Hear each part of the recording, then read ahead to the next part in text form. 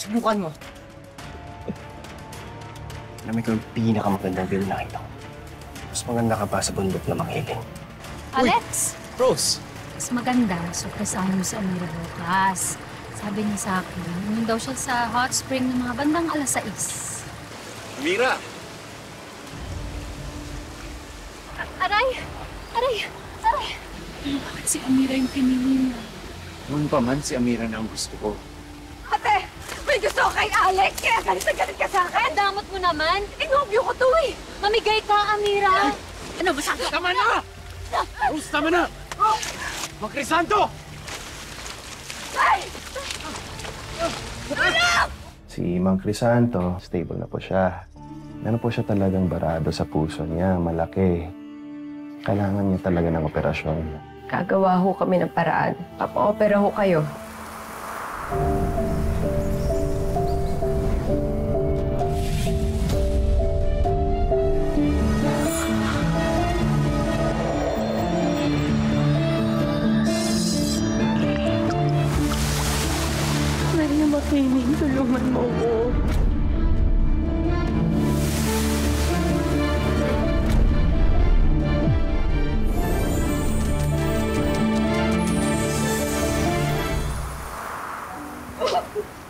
Mira gagaling si Mang Crisanto.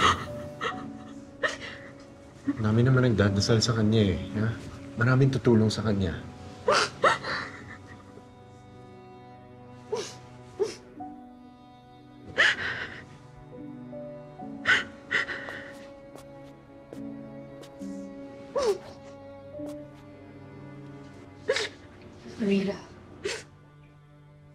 Bago mo ako sisihin sa nangyari kay tatay, hindi ko naman gagawin yun, ate.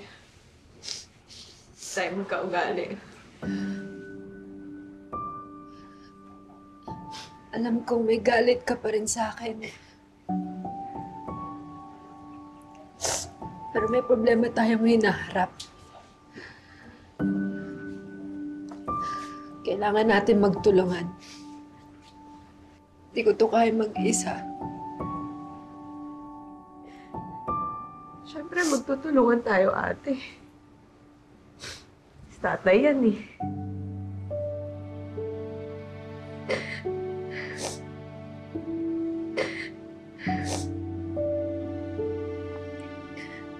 Pero ate, sana naman naisip mo. Hindi naman nakakamatay mag-sorry.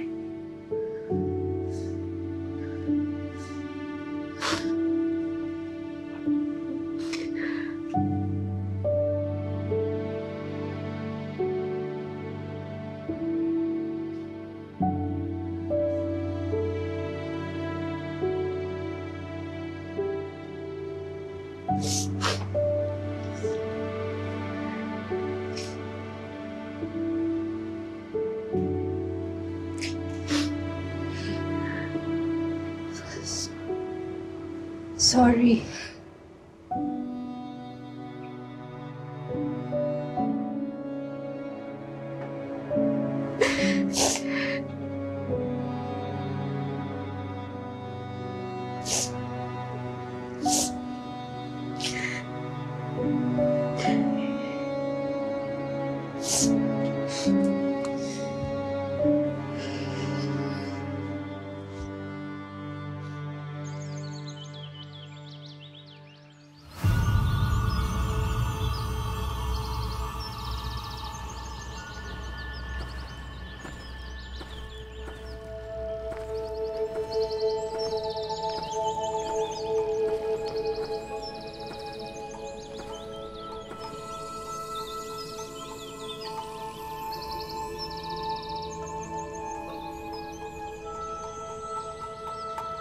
Maria, nakasan mo loob ko ah. Ngayon ako malalayo sa oyente. Sabi ni nanay, nagpaparamdam ka daw sa hangin. Sana iparamdam mo sa akin na gagabayan mo pa rin ako kahit nagtatrabaho na ako sa Maynila. Kailangan ko itong gawin para kay tatay.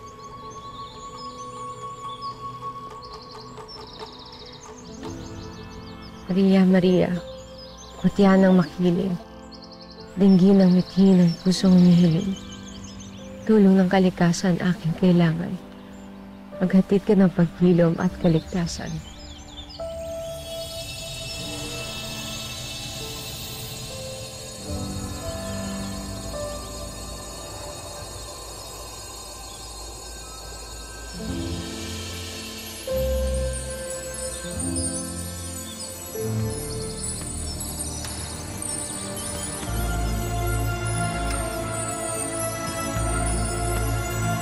Maria, Maria, mutya ng makiling, dinggi ng mithi ng pusong humihiling. Tulong ng kalikasan aking kailangan. Maghatid ka ng paghilom at kaligtasan.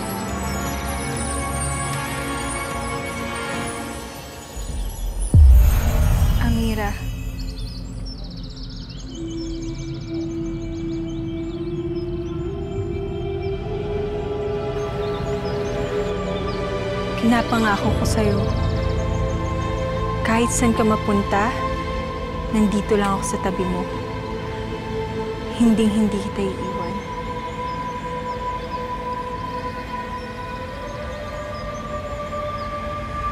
Amira! Amira! Hoy! Ano? Hindi ka pa rin tapos mag-empake. Ano na? Gagabi na tayo eh. Bilisan mo.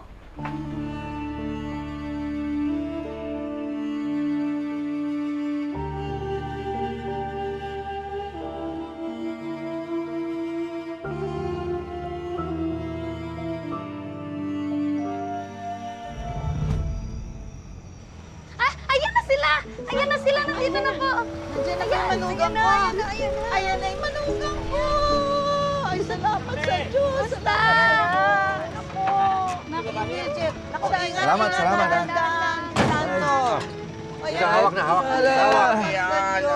Kaya, malakas na ako eh. Malakas na Ayan, ako. ayan ko. Teka, teka, teka, teka, teka. Ah, Dan. Ayan. Yung paa, tatay pa. salamat ako. Thank you. Salamat po ah. Salamat ah. Salamat. Ingat po. Congratulations sa naging maayos ang operasyon mo. Oo. Kamusta pakiramdam mo? Ito, malakas na ako eh. Napagod lang ako sa biyahe. Ay, Bekang, buti na kapitana itong sasakyan ng barangay. Kaya nga eh. Welcome back, pare! Aba, ano ito? Party. Sige po. Oh, lahat yan, steam o nilaga, gaya bilin ng doktor. Oh. At kung ah, gusto mo mag-celebrate dahil maayos na kalagayan mo, handa tayo dyan. Agad yun! Please, Ah, yan? Kung Nakalusot ka sa akin, ha? Joke lang! Kayo naman, oh! Hindi, hindi, hindi, hindi. Pwedeng joke yan. Hindi pwede. lang daw. Kailangan inumin natin dalawa. Pero makinig kayo ha. Ang bili ni Amira, tsaan ang dahon ng guyabano ang dapat mong inumin. Hindi naman, bakit naman kailangan pa magbilin si Amira? Eh, Pwede naman siya mismong gumawa. Asan ba siya? Eh, nasa Maynila eh. Si... Si Rose? Magkasama sila. Ito, pinabibigay niya sa'yo.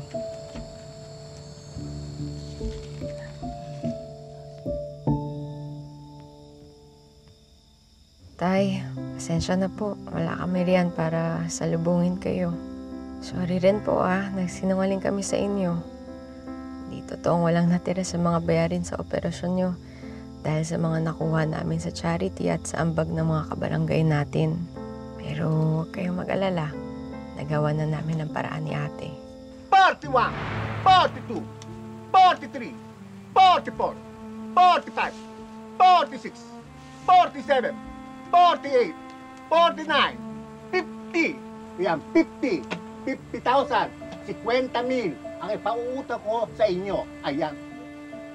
Happy? Huwag niyong kalilimutan. May utang rin sa akin na hindi niyo pa rin nababayaran. Opo. Good. Dapat bayaran ako on time. According dito sa pinag-usapan natin, sa pinirmahan ninyo, kasama ang interest. Dahil pag hindi, ididimanda ko kayo. Marami akong abogado dyan. Any question? Wala po. Any reklamo? Good. Bayaran mo ko ha. Nagsisikapan naming mabayaran agad ang utang natin dahil sa pagpapagamot niyo. Pati na rin yung sa renta sa lupa. Alam ko, hindi magiging madali. Pero kahit kailan, hindi ko pagsisisihan ang naging desisyon namin. Dahil mahal na mahal namin kayo, Tay. Ibilangin ko ang mga araw hanggang makauwi dyan sa makiling para mayakap ko kayo.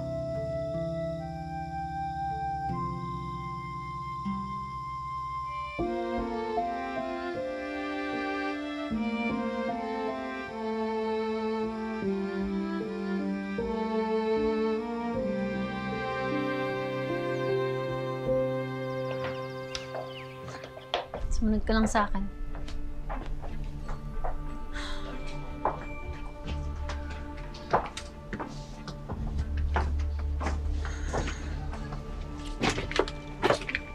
Ate, baka pwede dito ka na lang ilagay si Mutya.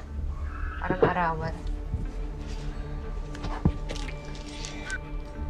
Oh, diyan ka sa sahig matutulog ha. Huwag ka mag-alala, ganyan din ako nung una. Tapos itong kutsyon ko, bigay lang to ni Kathy. Ay nako, di bale. Sa Pasko, try ko rin nabigyan ka. Or, humingi ka na lang kaya kay Maria Makiling. Para naman siya si Santa Claus, di ba? Mapagbigay siya ka gawa-gawa ng mga malilikot yung imagination, di ba? Ate, ayos lang naman sa akin kung nasa banig ako eh. Ganyan naman tayo sa probinsya.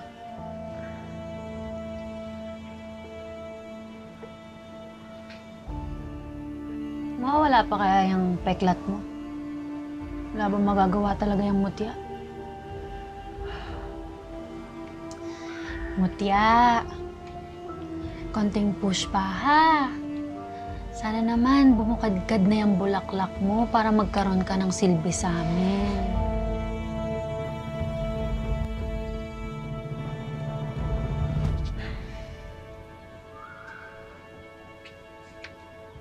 Ito na mga gamit nyo.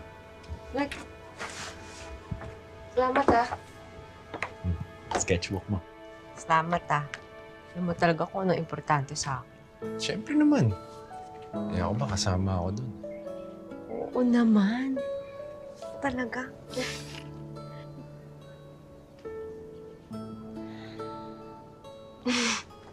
Ang sweet.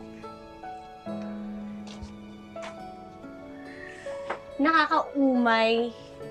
Blech. Paano? Alis na ako. Sige. Yung interview mo sa trabaho ah, bukas. Aga yun. Galingan mo. Oo. Good luck. Thank you. Ikaw, Rose, tutuloy mo ba yung pag-enroll mo? Diba, pinangako niyo yun sa tatay niyo? Hindi na muna. Baka sa susunod na semester na lang kasi kailangan pang unahin si Mang Mani Mani Ningil. Baka mamaya magkaroon na naman ng pagpapalayas part 2. Di pa naman pwede ma-stressin si tatay.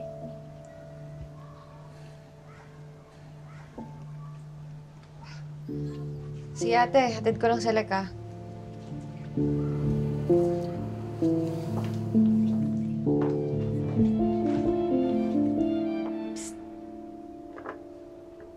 Bati na kayo. Hindi, no? Hindi nga, dahil kay tatay, hindi ka kikibuin. Hmm? Siya ka pa.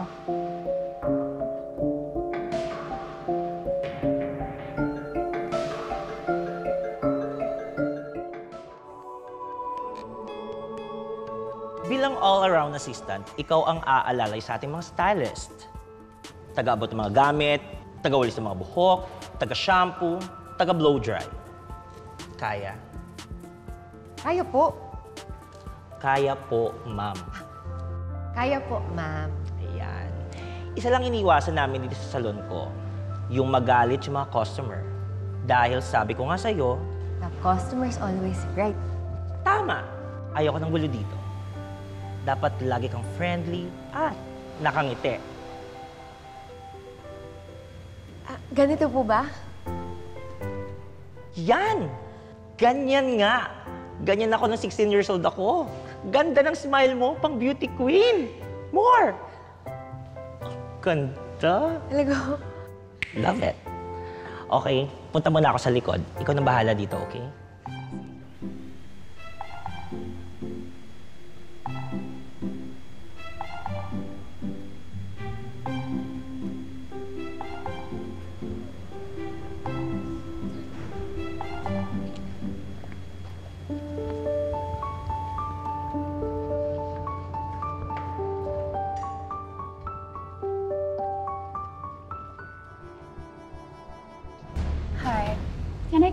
Hair shampooed and blow dried? Mama po muna po kayo roon. Meron po kami bagong stylish siya pang gagawa sa inyo ngayon. Okay. Thanks. So what's the plan? Are you free tonight? Well, we could go somewhere. yeah, we can have dinner after. Wait. Hindi ba't ikaw yung babae sa gubat? What are you doing here? Tatrabaho ko dito. Maxine, hanap na nga tayo ng ibang salon. Uh, we're late na, di ba? Magtsaga na lang tayo dito. Blow dry and shampoo lang naman. Kaya naman ni Jungle Girl yan, siguro.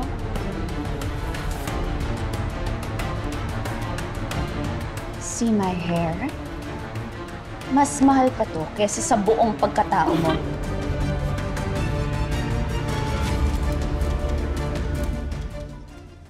Make sure na maayos yung trabaho mo. Or else. Ay, malas naman.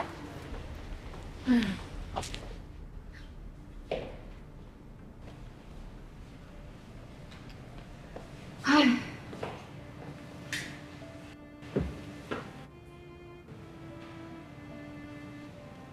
Ano binamantay mo talaga ako? Sorry po.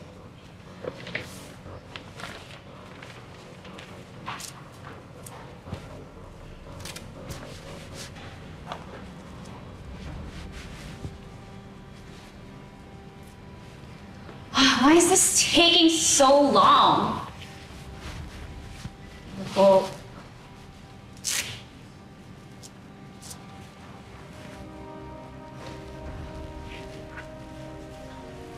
Ano ba yan? Parang di ka marunong. Sige po, hindi na po. Sukat lang. Mama, baba lang. Sige.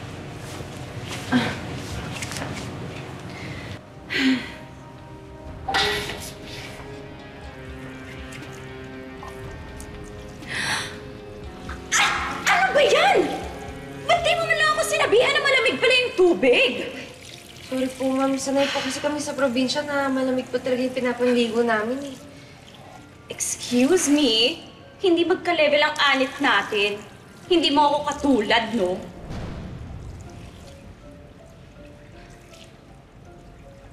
Ano ba yan? Tagal?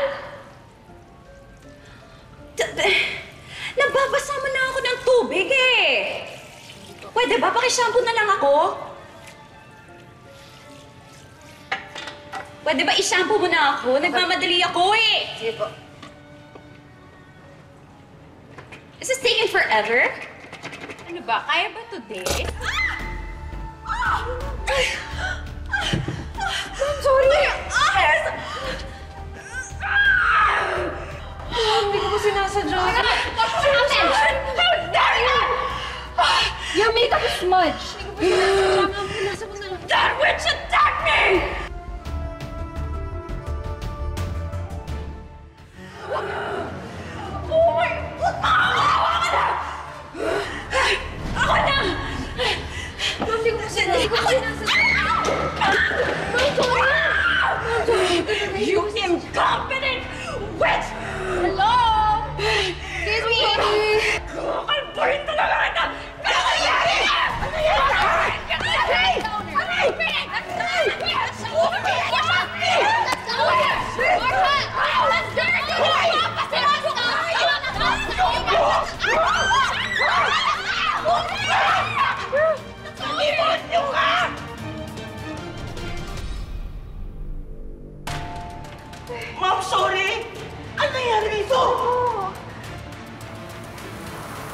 Akong trabaho. Sasanti ako sa salon. Paisa naman.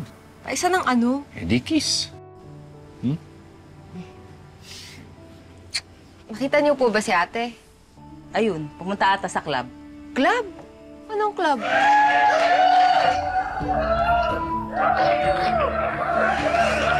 Pwede ko itong ikwento kay Lola Isip, pati kay tatay. Aling Belen na tawag. Sagutin mo. Sagutin mo tawag. Hello, Aling Belen. Eh, may emergency ho ba?